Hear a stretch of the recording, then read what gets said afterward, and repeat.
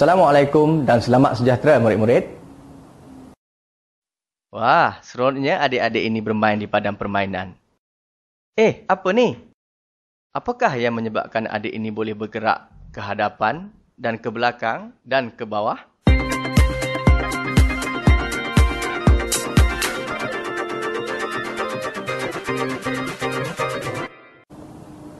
Hari ini kita akan belajar mengenai spring apa itu spring murid-murid?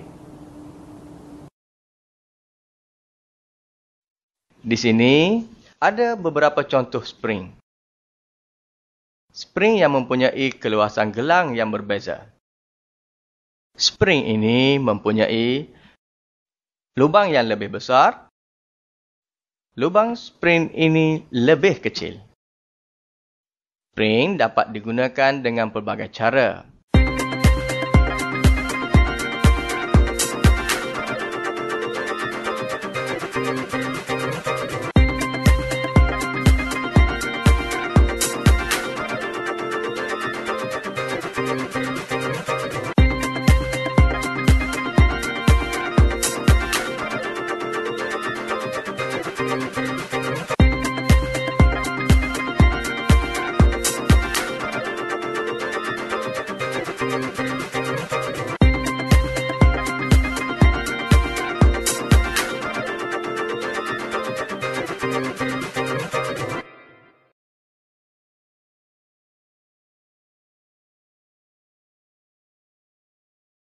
Kita boleh menentu meregang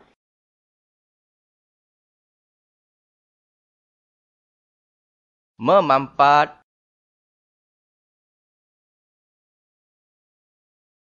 serta memulas spring mengikut penggunaan spring itu.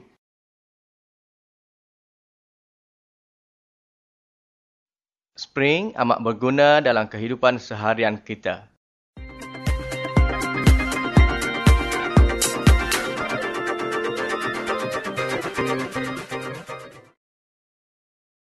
Contohnya, penyepit baju. Buayan kanak-kanak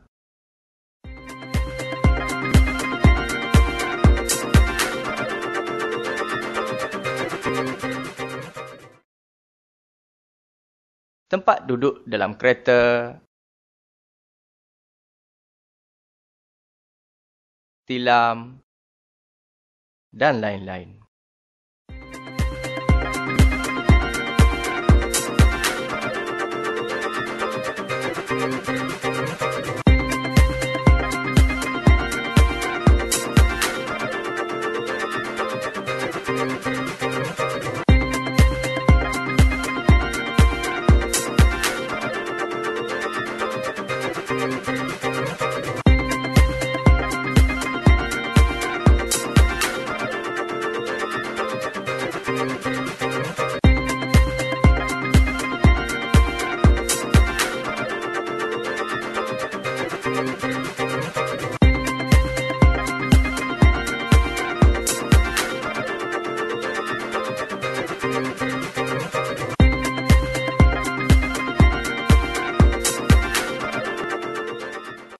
Spring memberi keselesaan kepada kita sebagai seorang pengguna.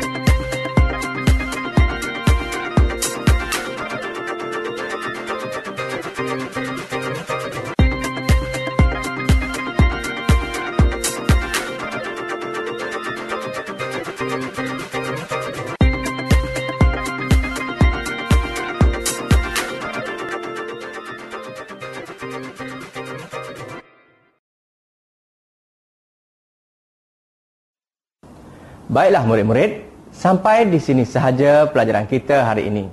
Sehingga bertemu lagi, selamat belajar.